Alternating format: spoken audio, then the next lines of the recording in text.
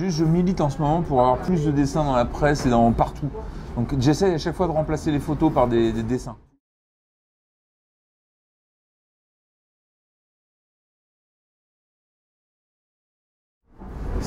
Ce qui m'amène à ma prom... Ce qui, ce qui m'amène à ma prom... ce qui t'amène à rien du tout, ouais. Rien du tout. Ouais, pourtant, j'étais bien parti pour interviewer euh, Manu. Donc voilà, on en était à l'éradication des, l'éradication des sportifs. Je pense que c'est un programme courageux dans lequel je me lance et que j'aurai un grand succès, dans- surtout en cette période d'euro où euh, on devrait éradiquer tout ce qui touche, un- tout ce qui a osé toucher un ballon.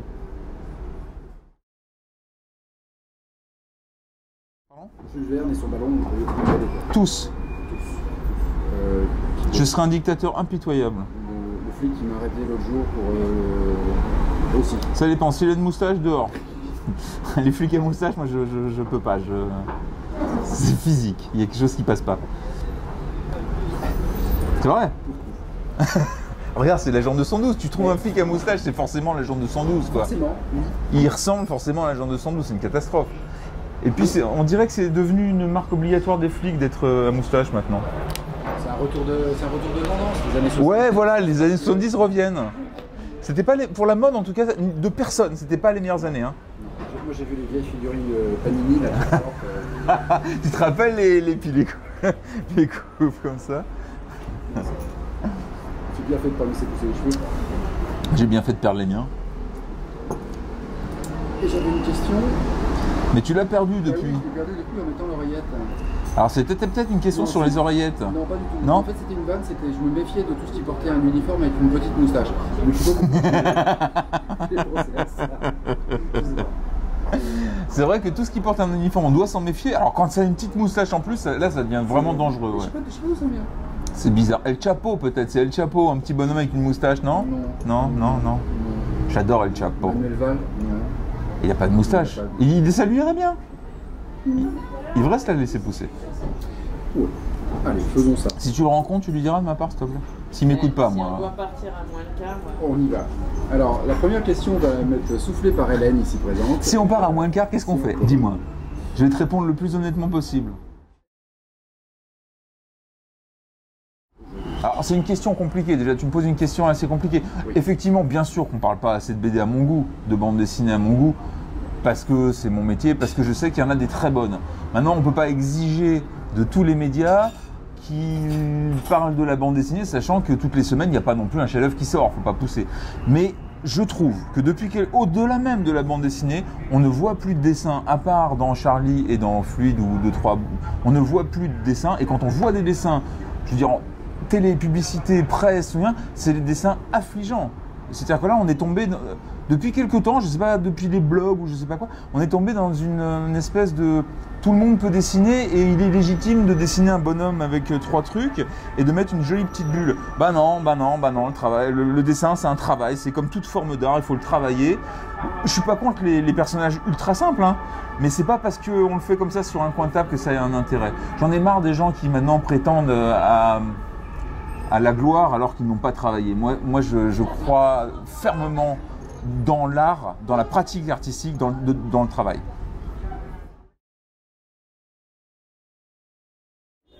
Je vais revenir à Brodec.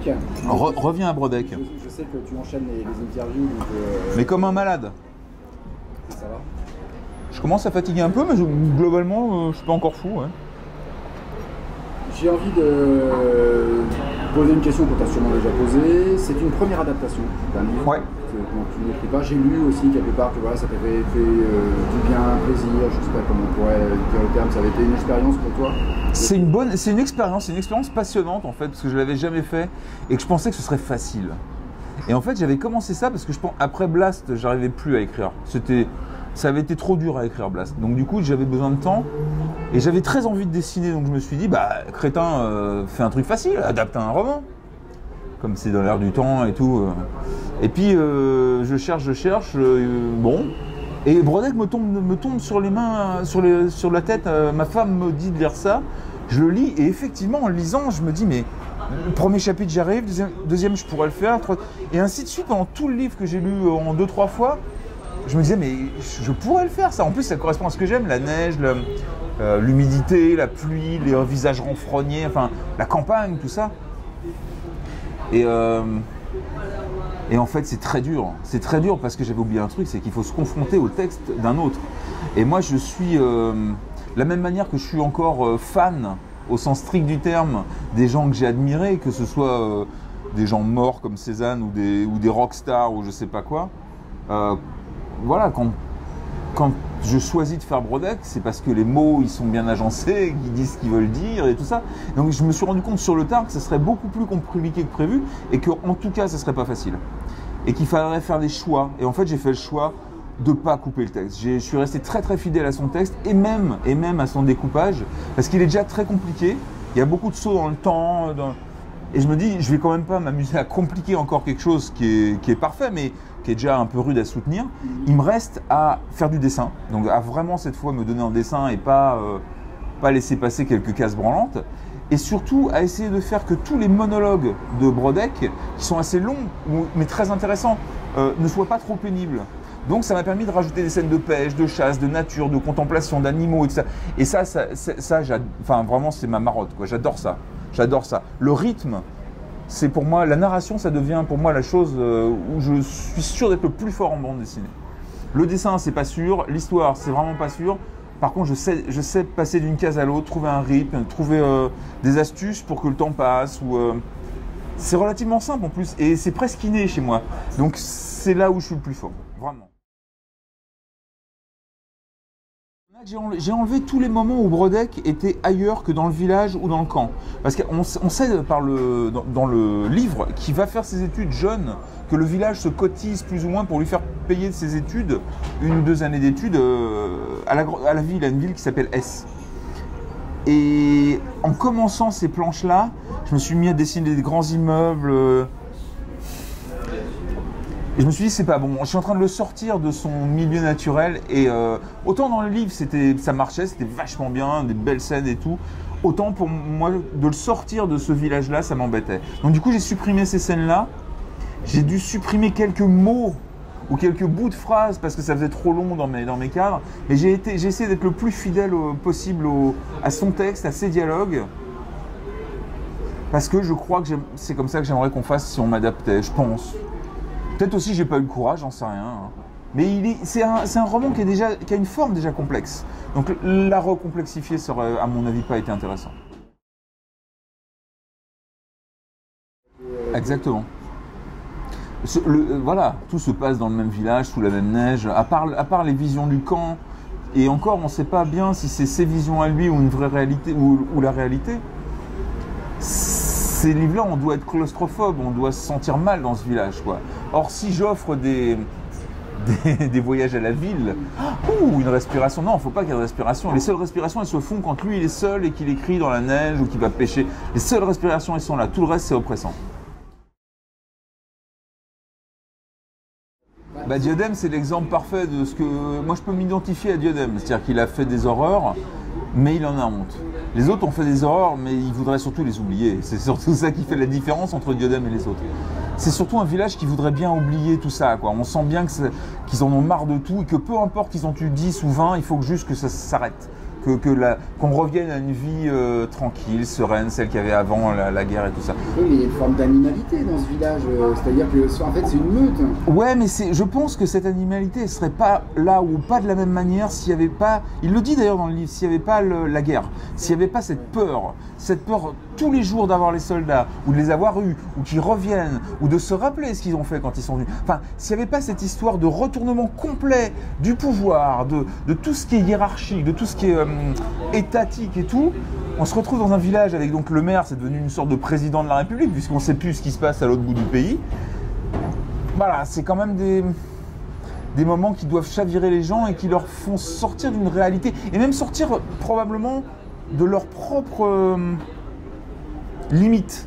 Sans doute que dans un, en temps de paix, ils n'auraient pas, euh, tué l'Empereur. Sans doute pas, moi je pense pas. Mais ajouter à l'é- l'étrangeté de l'Empereur à cette idée de est-ce que c'est pas un type qui vient nous espionner? Est-ce que c'est pas un ennemi? Est-ce que c'est pas l'ennemi de la nation, du peuple de, Tu vois? Tout ça fait que, voilà, au bout d'un moment, tu te poses plus de questions, tu butes, et puis comme ça, le problème il est réglé, quoi. C'est une des manières. je- Il, y a plus- il, est- il le dit pas vraiment. Il y a plusieurs manières de le voir dans, dans le livre. Et, il te propose quand même des fois, il te sou- suggère que c'est la guerre, mais que peut-être pas que. Tu, comme, enfin voilà, il le dit jamais clairement, quoi. C'est la mort de l'art. C'est la mort de l'art. Exactement. Voilà. C'est en train de se passer aujourd'hui. hein. C'est la mort de l'art. T'as pas remarqué? Hier, regarde, avant-hier, je sais pas quand. quand euh, alors si on n'est pas en direct, ce sera pas hier ou avant-hier, d'accord? Ce sera un autre jour. Tu préciseras en sous-titre. Ça marche. Euh, Il y a eu euh, des problèmes donc avec à Marseille, je crois, avec le foot, et on a décidé de supprimer la fête de la musique et de garder le foot. Voilà un bel exemple de ce que j'appelle une énorme tartufferie. C'est-à-dire qu'on est quand même dans un pays qui se veut culture et tout, histoire, machin, et on va préférer le foot à la fête de la musique. Bon, ceci dit, je peux comprendre tout, hein, c'est pas, mais c'est un exemple. C'est un exemple. C'est vraiment drôle de. Les images sont des images instantanées maintenant. C'est-à-dire qu'on ne voit plus d'images réfléchies. La peinture n'a plus aucune importance. Plus personne va avoir un expo de peinture. Il n'y a que quelques aficionados qui vont encore dans les musées. On, aime l'image instantanée, l'image où la tête est décapitée, où la main est coupée, où le. Tu vois, cette, espèce d'horreur de, l'image qui n'a pas été pensée. Moi, j'aime les images pensées. Moi, j'ai été bercé par, Cézanne, par la peinture, par l'histoire de l'art. Et justement, avant la photo, l'image était forcément pensée. Et depuis la photo, c'est pas, euh, il y a des très grands artistes photos, hein, c'est pas ce que je veux dire. Mais depuis la photo et depuis que tout le monde peut, c'est un peu comme les blogs, depuis que tout le monde a la parole, on peut dire n'importe quoi. Donc depuis qu'il y a la photo, on s'en fout un peu que la- que l'image euh, soit pas réellement pensée, construite. Et moi, c'est mon credo. J'ai appris ça tout jeune. Euh, euh, quand je suis rentré au lycée, c'était un lycée d'art, donc on apprenait déjà à dessiner des lettres, à savoir qu'on rapproche pas un S et un O de la même manière qu'on rapproche un T et un B. C'est des choses stupides que personne ne remarque, enfin que, personne ne voit, mais que tout le monde comprend en fait. C'est des règles, le graphisme notamment, c'est plein de petites règles stupides que personne ne va remarquer, mais qui vont intégrer directement. Donc voilà, je suis un peu ennuyé de voir qu'on l'enseigne plus, qu'on le dit plus, qu'on le, qu'on est- qu'on reste maintenant sur des images euh, où il n'y a pas de pensée, où c'est juste des faits, où on te balance un fait dans la gueule, démerde-toi avec ça. Rappelle-toi cette image du petit garçon mort là, du petit euh, sur la plage, une image qui qui, est, qui est- c'est horrible ce que je dis, elle est magnifique cette image, elle a tout pour être une image euh, euh, euh, qui restera dans l'histoire mais elle n'est pas réfléchie, elle n'est pas construite, c'est une image encore une fois de, direct. Je, pense qu'on a plus d'impact quand on réfléchit à ce qu'on va faire que quand on balance directement une image crue ou une image dure comme ça. Je sais pas que ça me dérange, mais il n'y a plus que ça.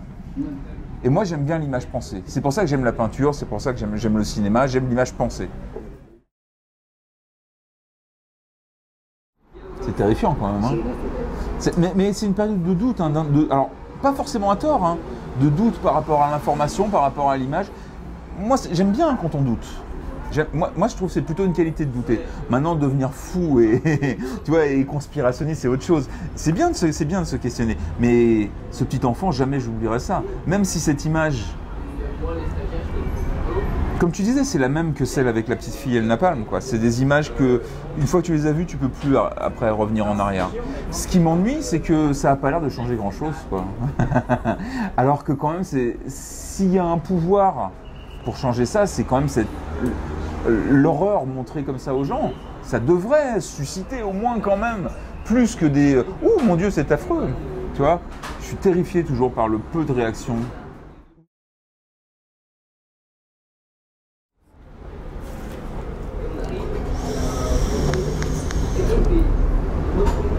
Je mets de l'ambiance. Hein.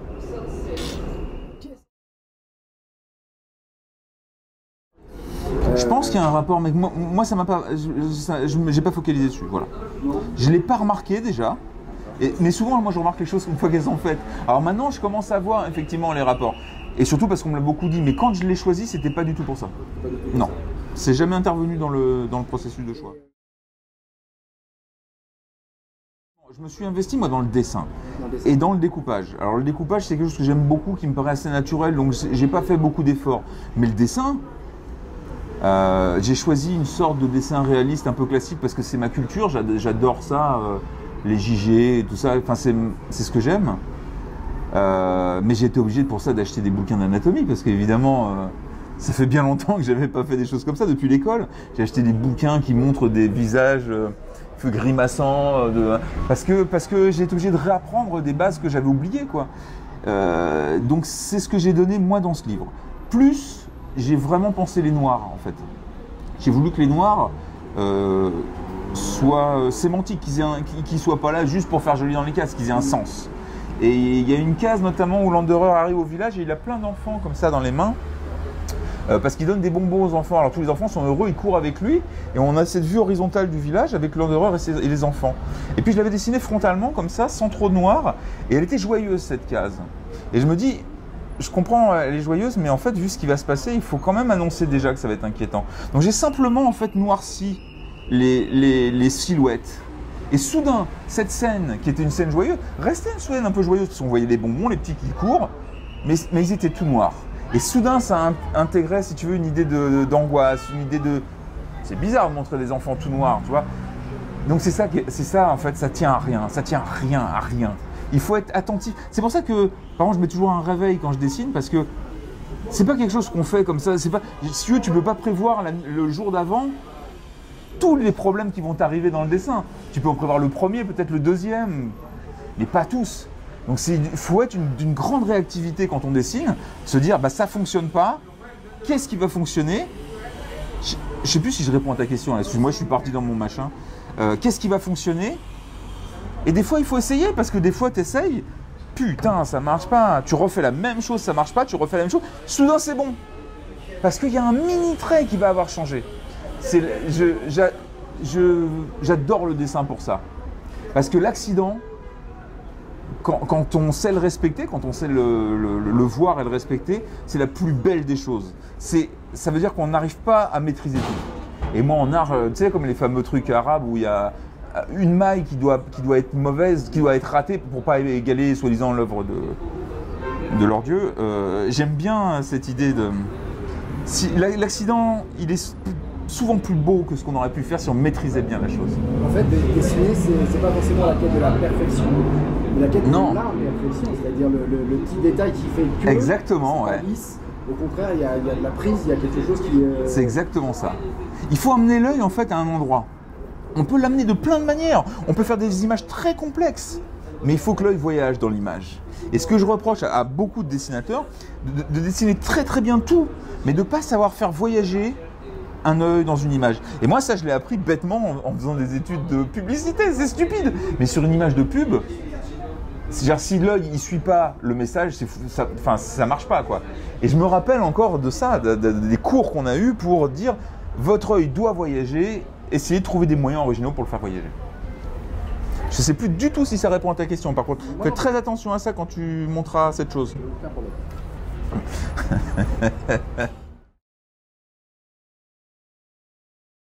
c'est important quand même, c'est la vie, hein, c'est la vie, on vit, on vit pas tous à 100 à l'heure, enfin peut-être certains le font, mais moi je connais personne qui vive à 100 à l'heure toute la journée, c'est pas possible. Il faut de la méditation, il faut de l'attente, il faut...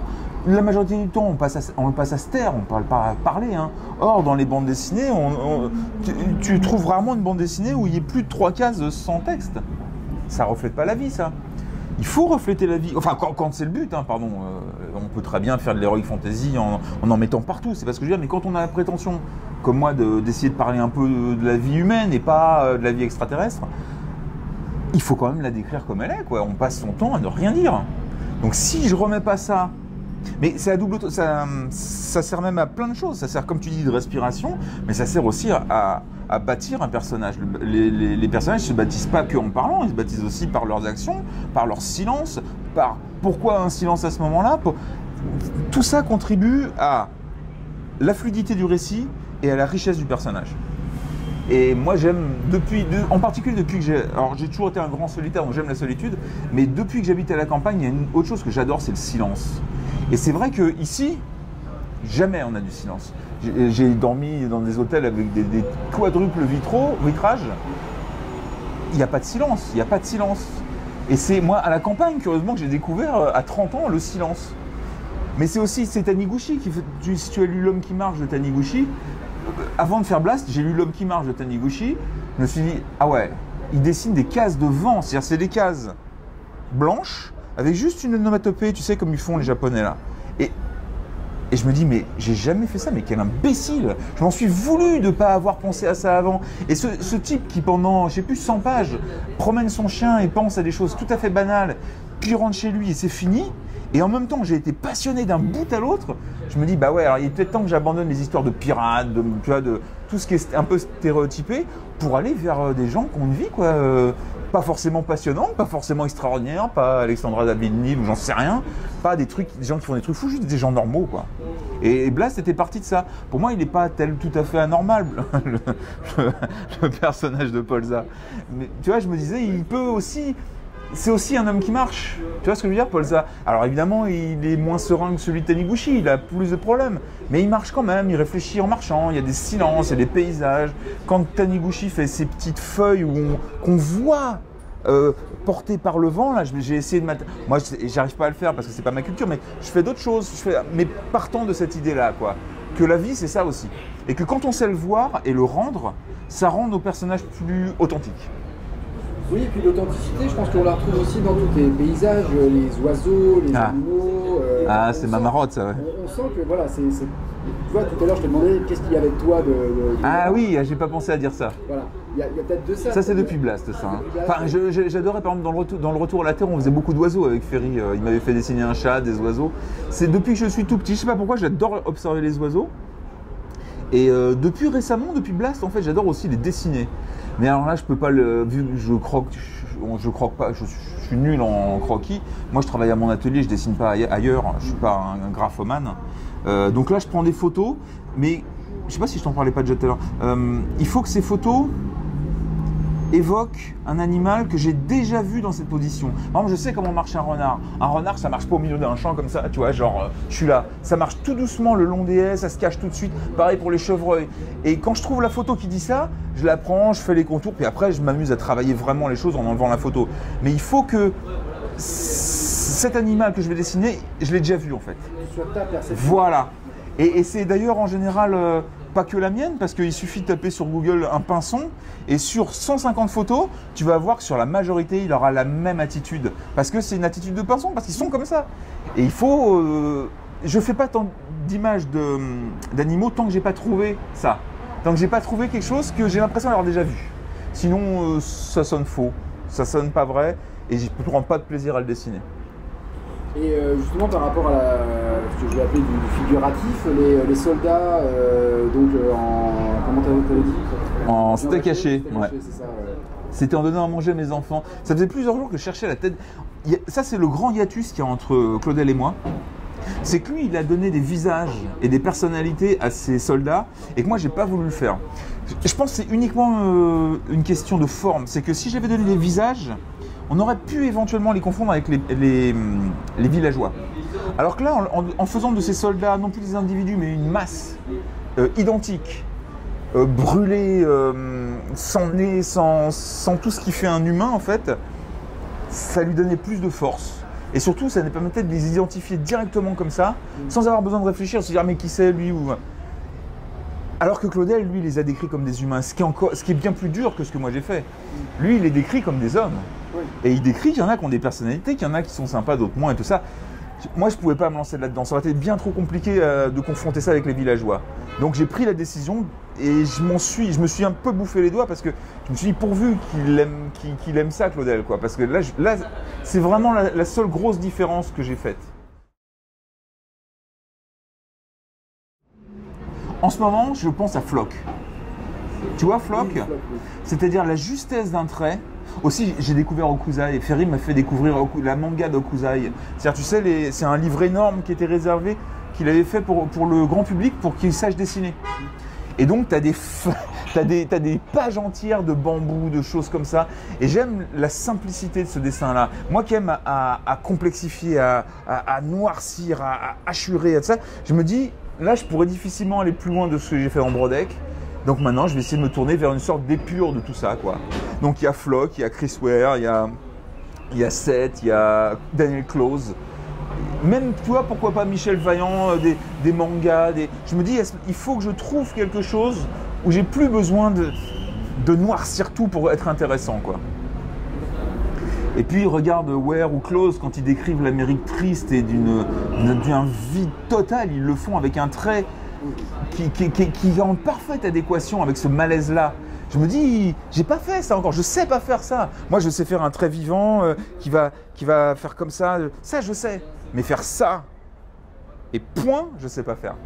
Il va falloir apprendre. La, plus belle chose que j'ai jamais ressentie de ma vie par rapport à, cette sorte de célébrité, de, c'est une fois j'étais dans le métro, il y avait un mec en face de moi, et je voyais bien qu'il me regardait, donc du coup je baissais la tête, j'écoutais mon Walkman et tout. Bon. Je vois la porte qui s'ouvre, du coin de l'œil je vois qu'il sort, la porte se referme, je vois qu'il reste, donc je lève les yeux, et là il était debout. C'est un type avec un costard et tout, euh, nickel, et il avait un petit papier, et il avait écrit Merci Manu dessus. Et il me l'avait pas filé rien du tout, il m'avait pas fait chier, il n'était pas venu me voir. Il avait attendu de sortir et il me l'avait montré comme ça. Tu vois, il y a des moments comme ça où euh, je me dis, ouais, il y, a des- il y a des mecs qui ont la classe, quoi. c'est-